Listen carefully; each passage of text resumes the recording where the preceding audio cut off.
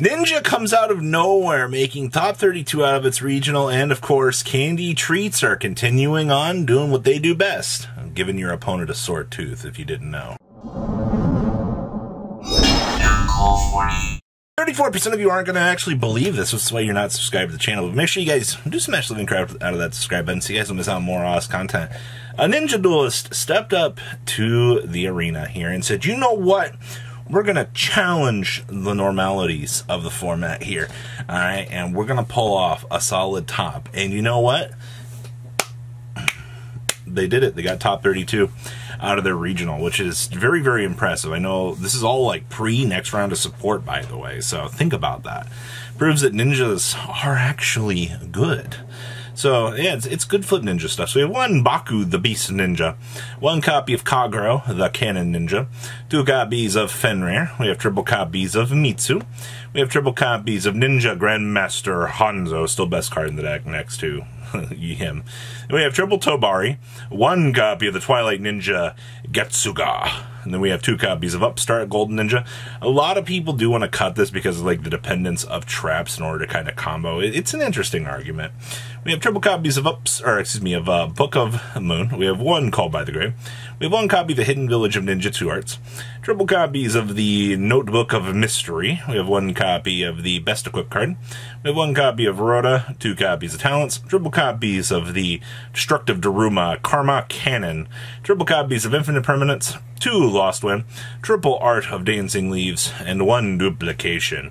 Then we have one copy of Zelantis with one Sprite Elf, one Saruja with two copies of Saizo, one Unicorn with one Masquerena, we have one Cross Sheep with one Boral Sword, one Apple with one Bagooska, one Abyss and triple copies of Miza. And then we have one Pankratops, triple Keldo, with your triple Mudora. We have one Feather Duster, one Talons with triple evenly matched, and triple copies of Solemn Judgment here, wrapping up a very particularly interesting take on Ninja. Good stuff. Next up here we have Madolche with only one Herald. I feel so bad that Madolche players lost Herald, but it has been very interesting to see how this deck has been evolving. If you notice, the deck has been going more towards additional like Earth monsters and gutting out a lot of what I would consider the excess weight from this deck. And I think that that's a good thing uh, when you can see a shift around here with multiple different sorts of inclusions of card choices here. It definitely goes to show that there is diversity in different ways to actually incorporate, you know, basically the Earth package into this deck. So we have two copies of Bystial Jerusalem with triple copies of Magna Hut, one copy of Snoranir with one copy of Herald of Orange Light. We have triple copies of Fenrir with triple copies of Keldo. We have two copies of the Divine Karate. We have triple copies of Angeli. Two copies of Hoot Hoot Don't Pollute. Uh, one Mageline with two copies of Messenger Lotto. We have triple copies of the Pudding Susior and one copy of Thine Pudding. Then we have triple copies of uh, the Sword Oracle Mudora, one Awakening Forest, triple Flourishing Hills, and triple copies of the Misting Seedlings. Then we have one Chateau, one Salon, and one copy of Promenade, wrapping up your main deck. Then next check, got one Underworld Goddess, one Fresh to Start, one Donner, one Asa with one Tornado Dragon. We have one Bagooska with two copies of the Glass Follet, two copies of the Tiaramisu, two copies of Shock Lala Mode, one Cowboy, one Zeus, and one Abyss Dweller. Then we have two copies of Drone Lockbird, one Butler, one Ladybug with two copies of Book of Eclipse, one Feather Duster, one Ticket, one copy of Necro Valley, one Secret Village, one copy of Zombie World, triple evenly matched, and one copy of the Gravekeeper's Trap here, wrapping up your interesting take on Madolche. I definitely like what they're trying to do here with the different ratios and things. Especially your side deck is so tacked out to handle so many different matchups. It's actually kind of cool. Next up here, we have Bystial Blue Eyes. Like, when I first saw this, I was like, I mean, we've seen Blue Eyes do very, very, very okay. Like, this hasn't been like a, a crazy, like, turnover or anything. It's just been okay. All right. But to see that we're trying to combine Fallen of Albaz good stuff with this to actually make this work, I, it's interesting. And it looks like it's had some sort of okay success. We have one copy of Albion, the Shrouded Dragon two copies of Aluber, two copies of the Blue Eyes Jetto Dragon, one little Druiswurm, uh, two Magna Huts with one Snoraneer. We have one Ecclesia with one old Dogmatika Fleur de Lis, two Fallen of Albaz with one kit. We have two Lubellion with two White Stone of Ancients, one Mercourier with one Blue Eyes White Dragon. So yeah, we're just playing one Blue Eyes. We have triple Branded Fusion with the two Branded High Spirits, one Branded Lost with two Branded Opening. We have one Branded Regained with one Theater, triple Nadir Servant, the one Ultimate Fusion, one Branded Beast, one Retribution, one Punishment, two Imperm, and triple Skill Drain. Man, this is tacked out. We also have one Almirage, one Omega with one Titaniclad, two Mirror Jades, one Masquerade, one Lubellion with one Garuda, one Anitus with one Queritus. We have one Brigand, one Tyrant Dragon, and we have triple, or excuse me, two Albion with one Alba Lenitus. So I we have one Pankratops with one Banshee with one Ra's Disciple, triple Forbidden Droplet, two Zombie World with one Expulsion, triple copies of Dimensional Bear, and triple copies of Evenly Matched here, wrapping up your very, very interesting good stuff uh, package.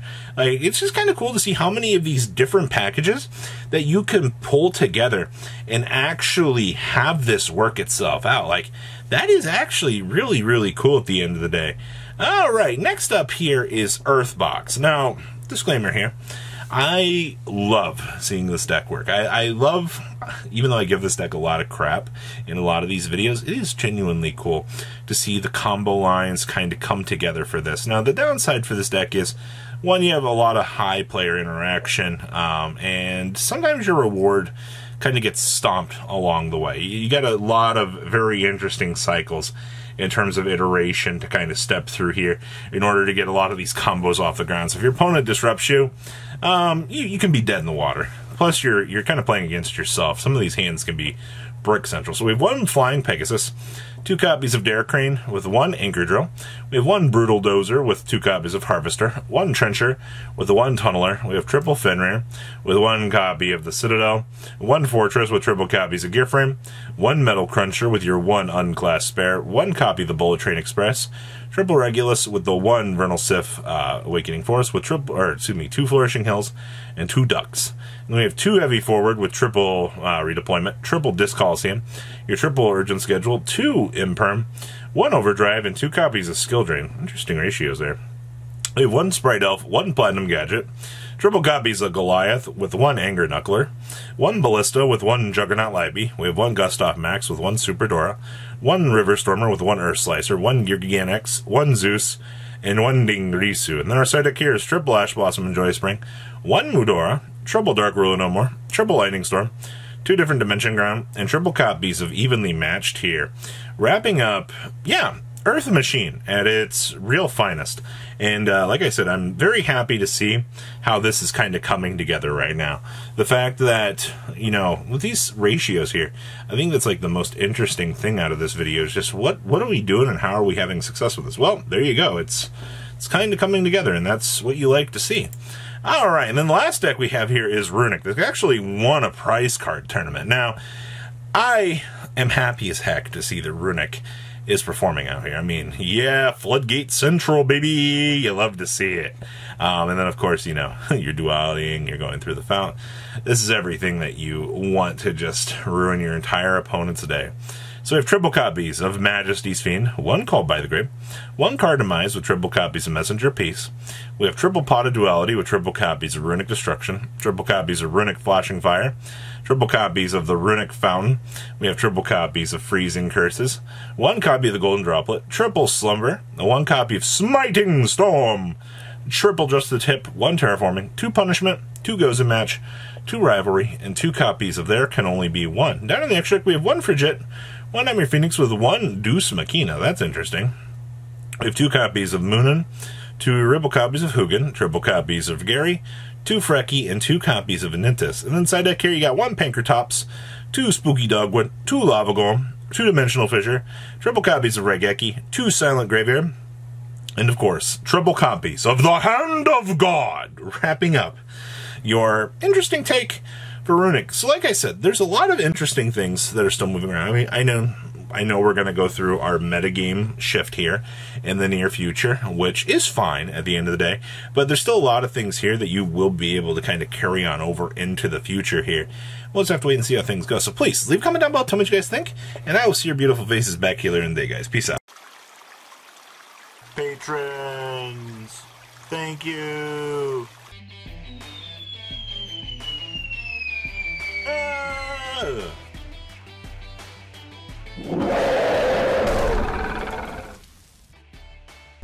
Thank you so much for watching. Check out these other videos.